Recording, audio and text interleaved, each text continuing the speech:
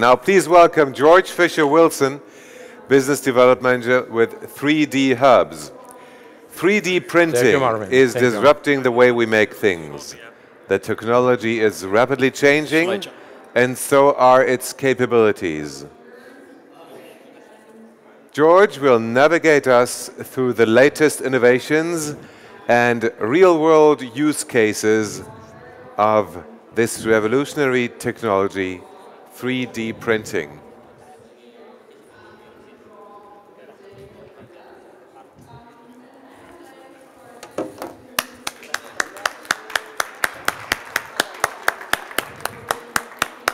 Hello, everyone. Um, today I'll be talking about 3D printing, but let me start by explaining a little bit about who we are at 3D Hubs. So 3D Hubs was founded three years ago by these two gentlemen up there on here. Um, uh, two former employees of 3D Systems who uh, set about creating a company to fill a growing market and growing void that was appearing. Desktop 3D printing, around three years ago, we saw a huge increase in home ownership.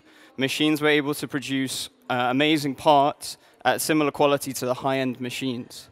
This created a huge opportunity. There was around 200,000 3D printers all around the globe sitting at 95% idle capacity it's a great technology that should be utilized more, and this was the birth of 3D Hubs, a platform that allows people to access local 3D printers, big or small, um, and the emphasis on the way it works is very simple. People upload a 3D design, an STL, they choose a print location, and they pick up their product or get it shipped. As a platform, we currently now cover 25,000 3D printing locations all around the globe. We're active in more countries than McDonald's and provide 3D printing services to around a billion people within 10 miles of their home. But that's all great. But the real reason I'm here is because there's been quite a lot of negative press at the moment around 3D printing. We're hearing things like 3D printing is a fad, 3D printing is dead, there's no future in 3D printing. And it seems to all really center around the idea that 3D printing, especially consumer 3D printing, hasn't really met our expectations. And looking at Gartner's hype cycle, we can kind of see, um, well, it's kind of easy to guess why this has been happening. You can see as technology enters the market, we all rave and shout about it. People then kind of get disinterested as it doesn't meet those expectations, and then re-adoption begins, and the real innovation starts and 3D printing hit a similar route. So it shot all the way up to the peak of inflated expectations. And during that process, we thought we'd all be living in 3D printed houses, just like this concrete one here, eating 3D printed food, just like this, uh, these sugar crystal structures here made by 3D systems, and driving 3D printed cars, just like this one here by Local Motors. And now we're heading to the, the trough of disillusionment. We're all kind of losing our minds that 3D printing is not what we expected. And we're all sat around asking the question, where did it all go wrong? Well, I'm here today to talk about enterprise 3D printing. The 3D printing that not everyone is talking about, but really should be shouted about. This is where the real benefits of 3D printing are happening. And as you can see here, it's just entering its plateau of productivity. First off, I'll be discussing some success stories. Here you see the Ford Mustang 2016, a beautiful car, and uh, one that's been heavily built around prototyping and 3D printing. Here you'll see its engine cover. Its engine cover was created for $4,000 and only took four days. This was a process that previously would have taken six months and half a million dollars. But thanks to modern 3D printing techniques, it's something that saves time and saves money. Here you can see the the, the engine cover itself being lifted from the print bed. It's a powder printer.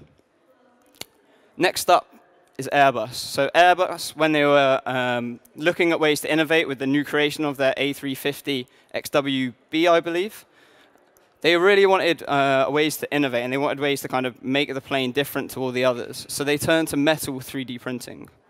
They were able to create 1,000 titanium 3D printed parts for their new plane that actually sit in that plane today. They were able to save up to 55% in weight for some parts in the plane, And for every kilo they save, 4,000 euros is saved in fuel. Next up, drone companies. It's no surprise that drone companies have risen alongside the industry of 3D printing.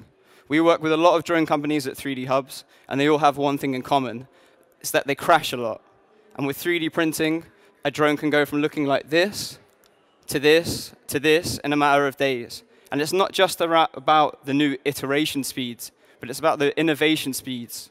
And that's what 3D printing really offers this industry. Next up is a slightly more obscure example. Um, it's a company called Mac Goods. They're a company we saw on our platform, and they create these beautiful wall art installations. And I'm not sure whether you'll be able to see here, but the connectors uh, are the small white pieces here. They were able to do a short series run of production, which enabled them to bring their product to market in just under two weeks at a cost of a, thousand a couple of thousand dollars, which normally would have meant kind of weeks of tooling, weeks of waiting on molding, and then no feedback from the product once it's done. 3D printing really allowed them to uh, bring their product super fast to market, gain valuable feedback, and then when they saw demand, they can then go on to these more expensive ways of manufacturing, such as injection molding. And as a final example, this is another company we saw on recently on the platform, uh, a company called Shift Labs. They make brilliant and innovative and affordable uh, uh, healthcare um, products. The healthcare product here you can see is Drip Assist. Drip Assist allows medical professionals to track drips ex exceptionally easily instead of kind of like standing there holding the bag, counting it all out, something that creates a lot of errors and create, can, in some cases, jeopardize people's safety. They were able to kind of take their product from a really rudimentary uh, visual aid, such as the one you can see here, and they were able to use the range of materials now available with modern 3D printing to take it all the way up to right before manufacturing to test form, fit, and function. And that's really what 3D printing offers. It offers a way for you to not only to kind of check visually how your product looks, but really take it to that next level and see right before you want to do mass manufacturing what your product will look like and how it will feel. Um, and I think that during these kind of success stories I've showed, there's kind of two really key things that 3D printing does. It saves you time and it saves you money, which are two hard commodities to come by, especially with bigger businesses.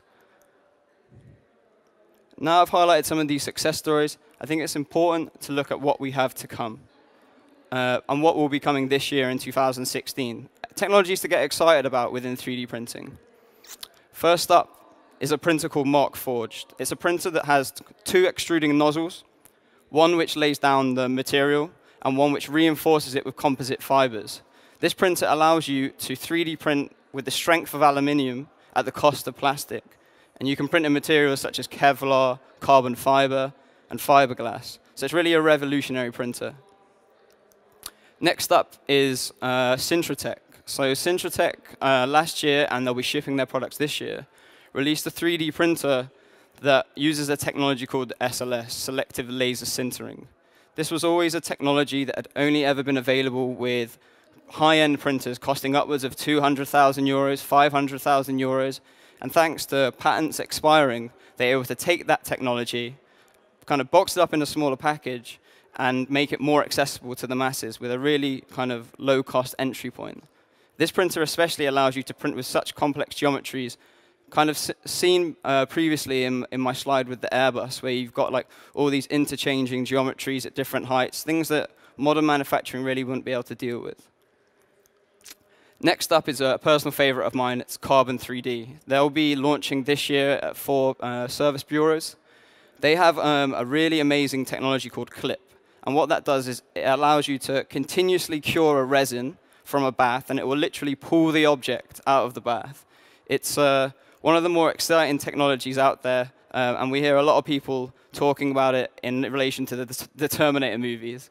But uh, in terms of speed, it can print up to 50 times faster than some modern desktop printers, which means engineers now can not only kind of think of an idea and wait a day to see it, they can think of an idea and wait an hour and see it, which is huge. Next up is Voxel8. This should be playing a video, but we seem to be experiencing some minor te technical difficulties. Um, but this printer here prints with two nozzles similar to the Markforged printer. Uh, one of those nozzles has a conductive ink, the other prints in plastic. And this means that you can print functional electronic prototypes in the office or at home, and really takes that prototyping to another level where you see your prototype come alive. And then, last but not least, uh, desktop metal. This is probably one not for this year. It's probably one more for kind of towards the end of this year, early next year. Uh, they recently got $12 million of funding to bring metal 3D printing to the desktop. It's, uh, metal 3D printing has always been uh, a really interesting field, something that's continually seeing kind of super fast innovations taking place. And the idea that you can then bring this technology, which has always been super expensive to the majority of people, something kind of only exclusively used with multinationals and huge engineering firms, you can now, well, potentially at the end of this year or the start of next year, bring that technology to the desktop, making it accessible to all kinds of communities, and really utilizing the power of those communities to see how that technology can be used in the best ways. And then finally, for 3D hubs. So as a platform, the most important thing for us is making all of these technologies accessible. It's all good and well having uh, the Carbon 3D superfast 3D printer. It's all good and well having the desktop metal 3D printer. But if these 3D printers aren't accessible to the masses, then we really won't see the capabilities of them. Um, and so with that said, we're now going to be looking to expand our industrial 3D printing services that we currently provide. Uh, we currently have around 500 different high-end machines ranging from full color to metal to SLS. And so, yeah, really our next goal is to bring all this technology to all the people around the world. And, uh, and that concludes the presentation.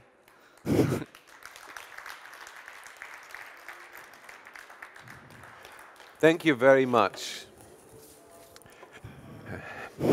I may have finished a little What early. would you like to know?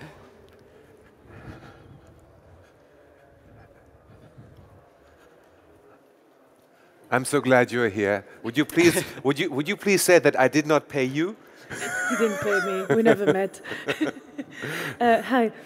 Did I get it right? This is like a Uber for 3D printers? Yeah, yeah, that's correct. So Excellent. that's what we've actually been, been called in the past. All um, right. It's, uh, yeah, it's a distributive network of 3D printers where people can really um, gain access through our platform. And on the, the, other side of that, people can upload their 3D printers, big, big or small, as I said, um, to give access to the local community and even people from far away uh, to utilize this great technology.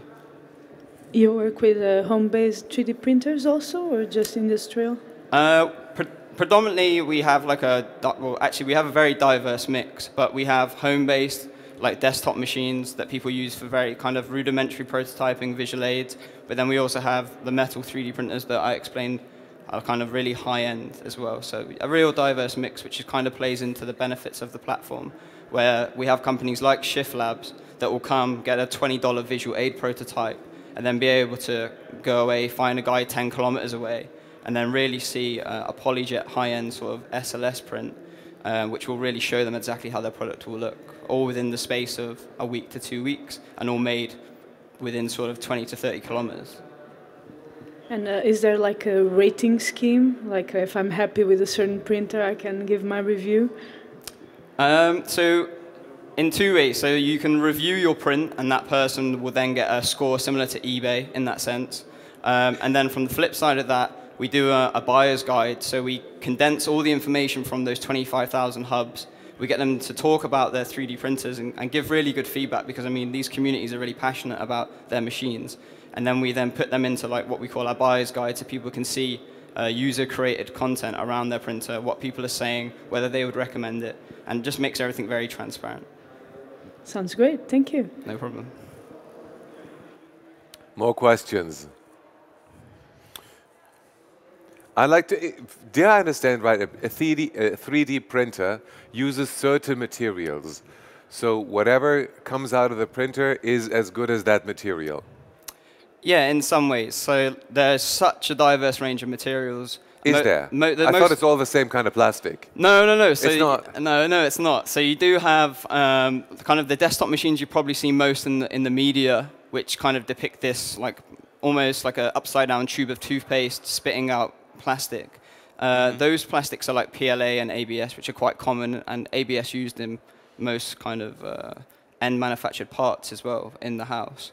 Um, but you also see uh, composites. So you can 3D print in wood. So it'll be 80% wood fibers, 20% plastic. You can also print in bronze. You can also print in carbon fiber. And with the machines I showed towards the end, you can, you can print in resins, you can print in conductive uh, plastics, you can print in metals. I could keep going, to be honest. I'll probably, I should stop keep now. going. but yeah, there's okay. a really diverse range. And that's one of the great benefits of 3D printing as a technology is that if you think of something and you want it realized, you can realize that idea in so many different ways. Okay. Now I have a dream. I, I walk in shoes with a certain inlay sole. I need those inlay soles in a, in a certain shape. And uh, it's always so tiring to go to a place, have it done, and, and produce. I'd, I'd have that at home just for those soles. Can a 3D printer produce a material that is not totally stiff, but also a little elastic? Yep. So like a sole you would walk on? So yeah, so the, the, it's really funny you said that. There are actually like two to three companies already out there. I think one of them is called Souls, S-O LS. Another one, I think, spelled W-I-I-V. And uh, they've had, one of them had super successful Kickstarter campaign. I think they raised over like a million dollars.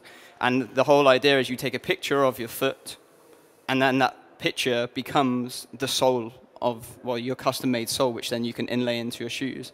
And their target markets are people like chefs, for instance, they're on their feet all day, and even like um, hikers that really uh, diverse mix of customers that are interested in that. So yeah, there's a company out there for you already. S-O-L-S. S-O-L-S, I believe, yeah. Um, That's what CeBIT um, is good for. yeah, so now your feet will be forever comfortable thanks to this talk. Yeah, I'll walk better. Indeed. Okay, who of you can, yes please. Um, it seems to be very useful if you um, can combine it with 3D scanning, but I don't have any idea how far that technology is for the consumer market.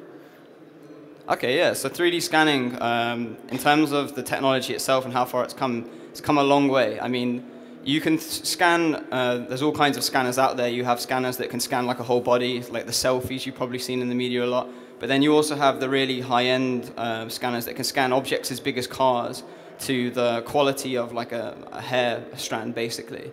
Um, and we've seen like a big movement now with people scanning old objects to keep them. So like um, they'll go into museums and scan all the objects. So we have a digital uh, museum as well as a physical museum.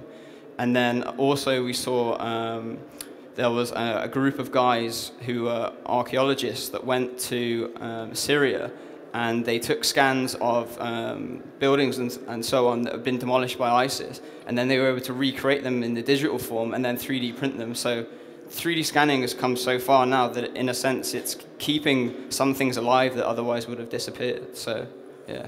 Okay. Thank you.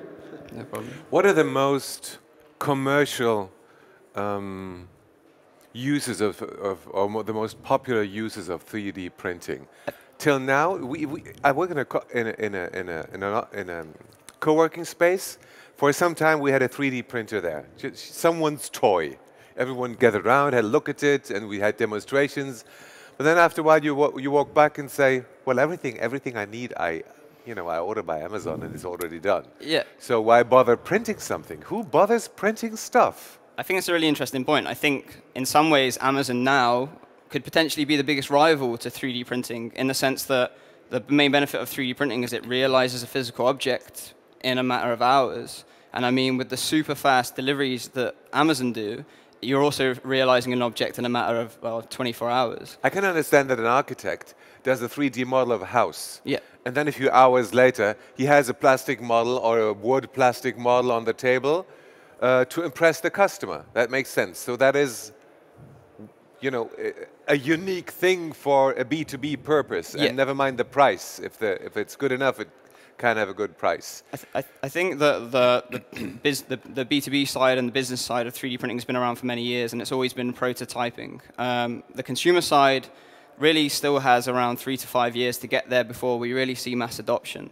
Um, but one of the things we see from a lot of our community who are very talented makers are that um, if something breaks in their home, they'll model it and they'll 3D print it. So for instance, um, my uh, nightstand for my phone recently broke so instead of buying another one from Amazon, which would then be shipped from China to their depot and then sent out, and it would have taken, I don't know, like two days.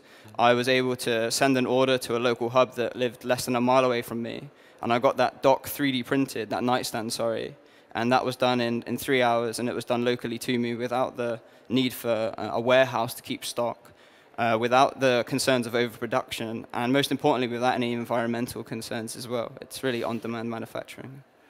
Can you 3D print body parcels? Like, I might need a new, uh, um, need a new knee sometime, or I might need a new hip sometime. You know, I could, I could scan my body now.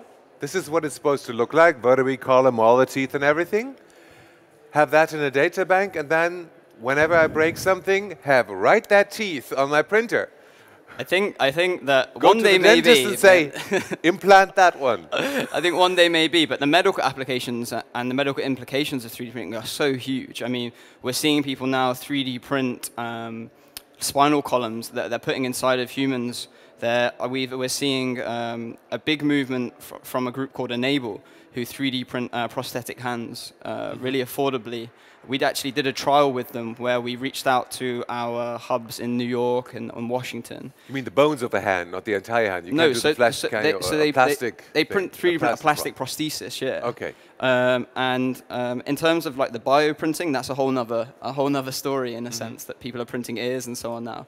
But using the network, they were able to 3D print 26 of these prosthetics, which were then assembled in schools to teach them about engineering and then taken to Haiti and, and matched with people that couldn't otherwise um, afford prosthetics or have access to them. So there really is so many medical benefits to 3D printing. But maybe one day uh, we will see a 3D scan of yourself, you lose an arm, and then you go away and bioprint a new one. But yeah. it's probably a bit far down the line. okay, well, just wait for the next CeBIT and it's closer than you think. Someone will come up with his own skeleton. I 3D printed that. It's me, just in case I need it or a part of it. Any more questions? Fantasize, imagine, think of a use. uh, you mentioned and uh, that you were going to expand your, your business to more than you were 500, as I understood, 500 locations more or less, and you want to expand. But since you mentioned that you're actually just a hub so how, how would the expansion work? Like, I mean, other areas, other countries? So, so um, the, the actual platform itself contains now, I think to this, the numbers are right, around 28,000 of these hubs. So 28,000 um, 3D printer owners, 3D printing services that are signed up to the platform. Um, and in terms of the uh, expansion um, with the high-end 3D printing, industrial 3D printing, what we've done is launch a service called HD. So just to try and really clarify the difference between kind of the higher end 3D printing services and the more affordable 3D printing services.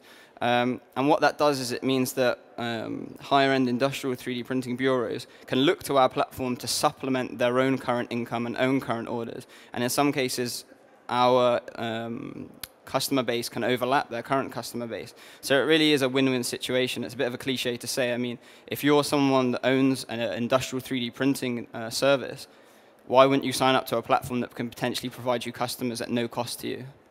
So yeah, that's that's in a sense that's the that's the pitch, and and so far it's been working okay. More details you'd like to know for your business. He is extremely expensive when you hire him. Today he's for free. You already paid the ticket. Yeah, another one. Yeah, go. We're here. We're do, here do, for that. Do you have an app? Do we have an app? Uh, we do not currently have an app. Um, we are currently only uh, web-based, um, but we have had one of our designers um, put together like a mock-up of what potentially that might look like. Um, but at the moment, we see most of our traffic actually coming from, uh, from web, just because um, if you're a product designer or an engineer, you tend to model on your web browser or on your software, and then you go straight onto your um, browser and connect to 3D Hubs. On mobile, like uh, downloading and holding an STL file and then submitting it, it, feel, it can feel quite clunky. So at the moment, it's not something that we've really looked into. No, I mean for the consumer market or the low-end market.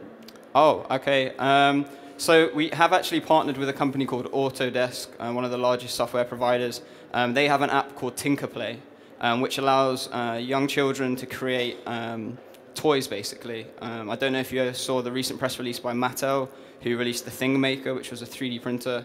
They both use the same application. So you can basically custom design your own toy, and then we have uh, built into that app our API, which someone clicks on, then they send that to one of our service providers, and that all goes through there. That's the closest thing at the moment we have. Okay, thank you. So if you need a 3D printer, just ask your son. He probably has one by Mattel. P potentially, yeah, by the end of the year. Yeah. okay. Thank you very much, George. This was an absolutely impressive presentation. Just another game changer. We didn't have that many disruptive technologies and game changers this time, but we had a few that were really impressive, and I wish you all the best for your business. Thank you very much. Thank you Thank you listening. very much. Bye-bye.